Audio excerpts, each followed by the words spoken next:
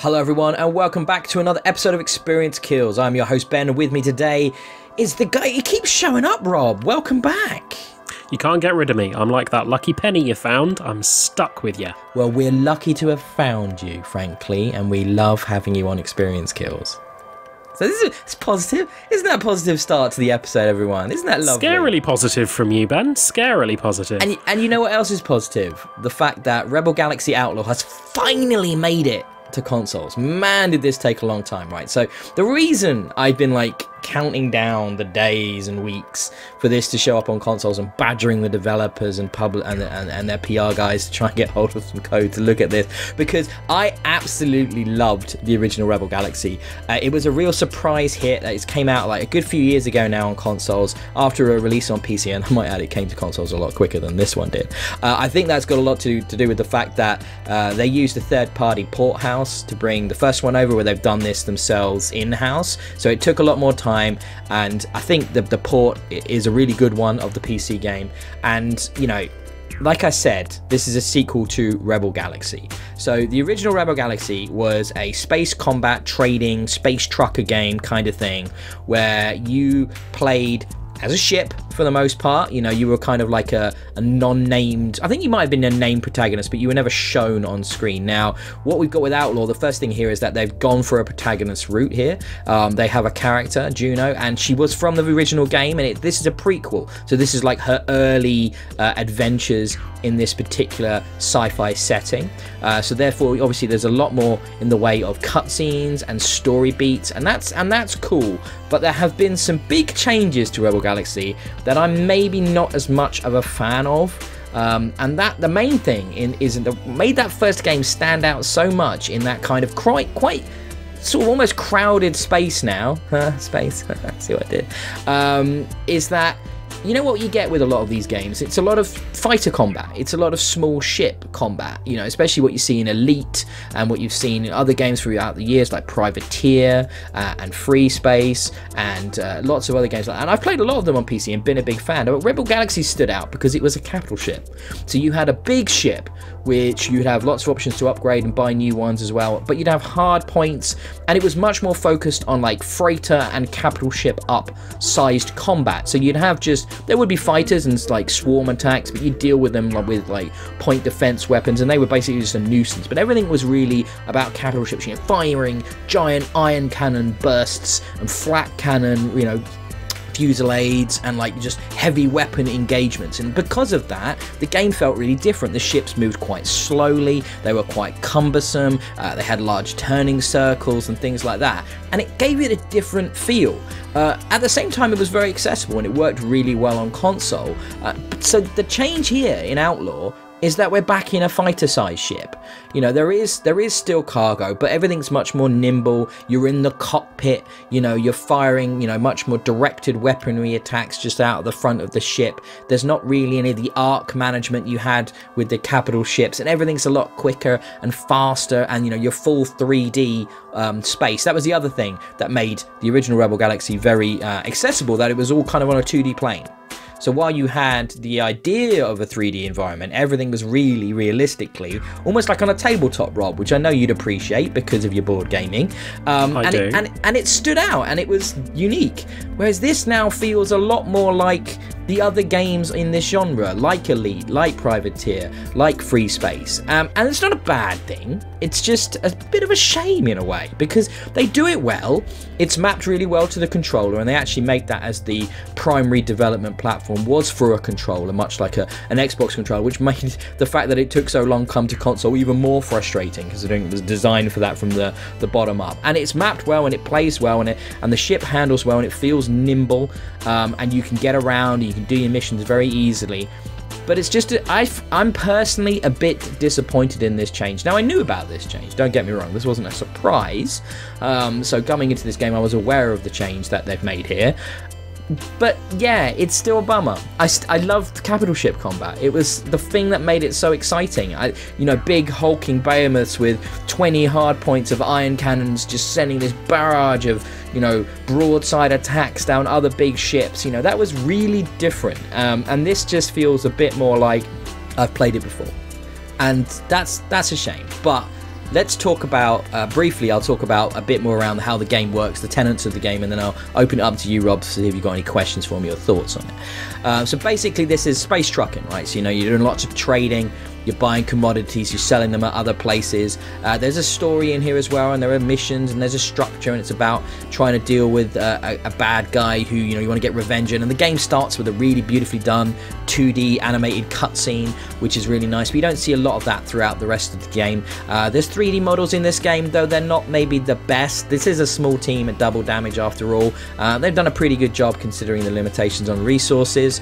Uh, like I mentioned, the combat is now fully 3D, um, so you're still managing your ship, you're still buying new ships, you're still buying new weapons and upgrades and and you know shields and hull improvements for your ship, but it's not um, as big a scale as it was before. Obviously, in the previous uh, Rebel Galaxy. Um, I'm having a good time. There's a lot here. There's like about 25, maybe maybe more than that, maybe like 40 different star systems to explore. So it's all about going out there, fighting pirates. You can either be a good guy and work for the authority, or you can be a bad guy and like just go around attacking freighters and police and, you know, getting wanted and chased through the systems. And that's all very much like the predecessor game. Uh, and I think the universe that they've built is this is quite fun. You've got some distinct alien races, you've got a distinct tone, you've got this music that's very evocative and much like in the original game has actually been massively expanded in this with this distinct radio stations that you can listen to. But it gives you that space truck, and you know, you're going along listening to the tunes, which is all this kind of quite southern inspired rock, much like all the space system is actually kind of southern and American inspired with names like Texas and Nevada and stuff like that. It's very got a, got a unique tone that I find really appealing, and it pulls you in. Um, but yeah, it's good fun. It's really good fun, Rob. So have you got any thoughts, questions, anything that you'd like me to dig a bit deeper into? I I have been looking for a good like space sim game on uh, console for a long time. I tried Elite Dangerous, it would not function for me. No matter what I tried, it just would not work. So that ruled that out for me. I dabbled a little bit in No Man's Sky, the Minecraft in space, basically, but I just never really devoted enough time to it because I, I never ship combat in that. From what I've seen, the combat in this looks significantly more visceral, more light effect, more explosive. It, would you say that's right? How do the graphics measure up against other offerings? Yeah, I think I think you kind of come across a really good point there, which was that this is a way more accessible experience than something like Elite Dangerous. Um, while Elite Dangerous has its massive fans and uh, defenders and stuff like that, it's really sim heavy. Whereas this, is, especially, you've got more difficulty options, but if you play it on the normal settings, you could you basically got a very accessible game. For example, there's a lock on. So when you fight an enemy, um, you know how these 3D environment uh, space sims can get. You can be just like flying around, mm-hmm. just doing loops, hoping to see them again. In this, you have a lock on, so it will match velocity and it will track the enemy. And then while it's doing that, you can kind of like sort of fine tune your aiming to get your shots on target more effectively, which is okay. really, really nice. Uh, then you've got like various missile weapons as well, that lock on effects that they have, and you can jam the incoming missiles, and everything is quite accessible. There's still a fair amount to take in. You've got energy management, you can divert energy to shields and weapons and engines depending on the situation. So there's there's still a lot going on but it's definitely onboards you in a way that's way more user friendly, way more kind of accessible, and it's not trying to be a hardcore sim. Other things that really indicate that to me are there are these beautiful, well done 3D models of your docking animations, of your leaving the space bases and stuff like that, but you can basically hit that A button and skip everything. So you can just, mm. you know, you're docking, skip, skip, and then you've landed, and you can go do your commodity markets and get your mission board stuff, and go to the bar and shoot some pool, and then you know, skip, skip, skip through the, dock. you know, you can really just skip through dialogue, through loads, you know, these beautiful animations. You know, you might occasionally come up, come up against a load screen, but everything was very rapid for me on my um, Xbox One X. Nothing really ever took a long time to load in this, which again, accessible, accessible, gets you into the game, gets you into those dogfights. Yeah. The other thing that is, yeah, it's really nice is that you've got a system menu and you can set waypoints and you can select your missions. And then instead of having to like fly to them in real time, you can just point at one and go engage autopilot. And again, an animation kicks in and then you appear at the destination. And, or you can skip the animation. So you basically just boop, boop, boop, boop, boop, flip around through the system. You know, you don't have to spend hours flying between waypoints, uh, and you can just get into those areas of combat. You know, there are these distress signals, and there are things that can pull you out of autopilot, like enemy engagements and stuff like that. But you can actually ignore the distress, sig- distress signals so they don't pull you out, and you can just yeah get around very quickly, which is very user friendly. When, for example, you've gone, oh, I'm going to pick up these things from here, but buy those, and I want to sell them there. So I need to know, I need to get there as quickly as possible. And you can do that very rapidly, even between multiple systems, because you're hitting the autopilot, you're skipping the animations, you're just going and doing what you want to do, which makes that kind of um, curve of making money really Yeah. kind of easy. For example, I wanted to make 50,000 to do a thing, 50,000 credits. I don't want to say what it was because it was a pretty cool thing that I discovered uh, to do with a space base. And I was like, okay, I want to do this. And I was able to generate that 50,000 in like 30 minutes, less than that probably actually. It didn't take me much time at all to get a big sum of credits together in the early game to get this thing I wanted. So it's very uh, easy in that regard. It really doesn't hold you up from getting to the fun stuff, the stuff that you want to be doing. It knows why you're playing a game like this. You know, it's it's not necessarily for the simulation experience. It's for that kind of you know memory of that experience hmm. you know that that idea of it how much fun it would be to be a space trucker but in actuality the realistic sort of representation of that is pretty tedious. So it's not going to force you to do that unless you actually want to. And don't get me wrong you could do that. You could play it totally sim. And you could fly all of these things in real time and not skip a single thing. But I don't know who's going to do that. I know I certainly am not going to do that. I don't have the time for that, which is cool. I know some people would definitely do that as an option. Uh, I, I definitely see the attraction in that. What about like differences in ships and weapons? Are there loads of different models? Is it customizable? How is it a choice between five main ones? Like, is there a lot of depth in that? Same with the weapons. Is there a good like combat complexity? Are lasers good against shields and that sort of thing? But what's Yeah. that depth like? Sure. I mean, um, while while this game is accessible, it's also at times really freaking hard, right? So you get into a combat situation you're not you're not prepared for, you're dead, and you, you're just dead. Like you're gonna get blown up really quick. Um, and it doesn't stop you going into those encounters, right? So the missions you get are color coded in difficulty, so you do know if you're taking on something more challenging, um, which is really helpful. Um, but basically, yeah, there's loads of customization. There's dozens of different types of ships, uh, and probably like you know more than dozens of different types of uh, weapon hardpoint options and stuff like that. You've got everything from like you said lasers to like auto cannons to plasma weaponry to ion weaponry. So there's absolutely tons of options in that regard and you can pick all of that. And as you get different ships you get different types of and amounts of of hardpoints. So you can choose the different types of loadout that suit your uh, style and and you know your type of desire for how you want to play the game. Now personally i like to be quite uh, aggressive but i also like a decent cargo size so i'm mixing up different types of hard points different types of missiles uh, and you know there is there is complexity here because a lot of them will take up different amounts of your uh, reactor core, your energy reserves. So you're balancing. You have a boost function in this game as well. So you're in combat. You might be juggling things like your shields, your engine, your weapons. Because you're trying to boost, you're also trying to land heavy shots. You're trying to close the range so you can do something with a, a launcher weapon. So there's loads going on here. Um, but what what is nice about it is you can really approach it at your own pace. You can stay in that first system. You can really get to know uh, what the systems are and stuff, and you know work out what type of gameplay you want to do. And you, if you want, you can stay in there and just grind, grind, grind a really decent ship before ever leaving it if you really wanted to.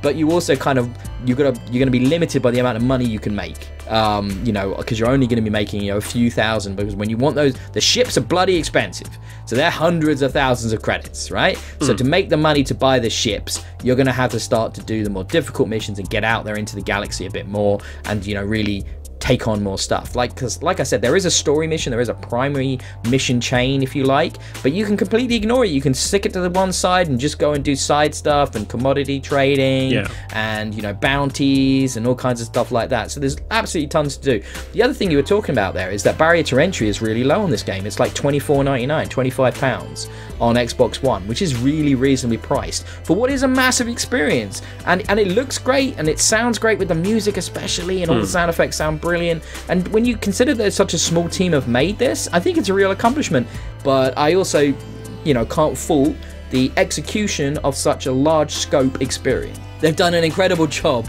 at double damage I think I'm probably going to get hold of this. I've been looking for something this good for a while, so I'm I'm hyped for it.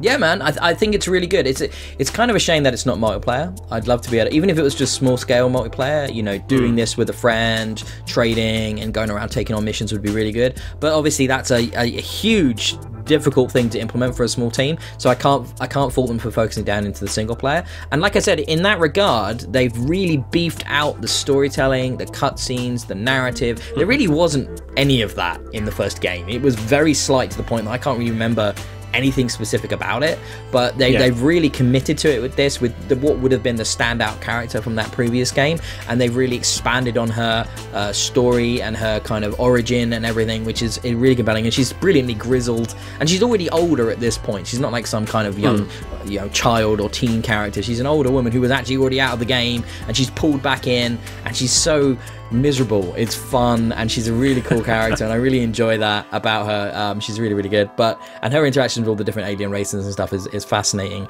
But um, yeah, I, I, I I'm enjoying this game. I'm enjoying this game, and if I think if I came to this having never played the original. I, I would have really, really dug it. Like it's like an accessible elite, which is exactly what I want because I hmm. want to love and get into elite and give that time. But there's no way I can commit that to it. Like there's just no way. I've, I own that game and all the expansions on a couple of different platforms, and yet I've never spent more than an hour with it. Whereas this, I've already spent way more time than that, and it's way more accessible. And the and the curve, while there's challenge to it, and there and there there are difficult times, it's also you you never feel like it's impossible. When you get defeated, you're like, right, well, I need to just level up more, buy some more gear, get a better ship, and then I can go back and do that. So it feels like you understand what you have to do to progress at all times. I really like it. Yeah, no, uh, That sounds amazing. Rebel Galaxy Outlaw, it's a strong recommendation from me, and it, like I said, it runs really nice on the console, and they've done a really good job with this port. Uh, and you lucky guys on PC have had it for over a year, and I'm just really glad to finally be playing it. So I hope you've enjoyed uh, watching this video. Uh, I would love you to check out the audio podcast. If you don't have time to sit down and watch, please consider our podcasts, which are the whole content you've just seen in this, uh, except for the visuals. Obviously, that's how a podcast works. But you can take them on the go with you. You can take them to work. You can take them to on your commute, down the gym shopping with your mask on. You know, you're not meant to be interacting with anybody anyway, so put your headphones on and listen to us instead. Surely that's a, a good thing, Rob. Don't you think that's a good idea? That is mostly how I live my life when I go to uh, Tesco's. I, I do just put headphones on and I've got something going on Audible or Podcast Addict, something like that, uh, just playing away.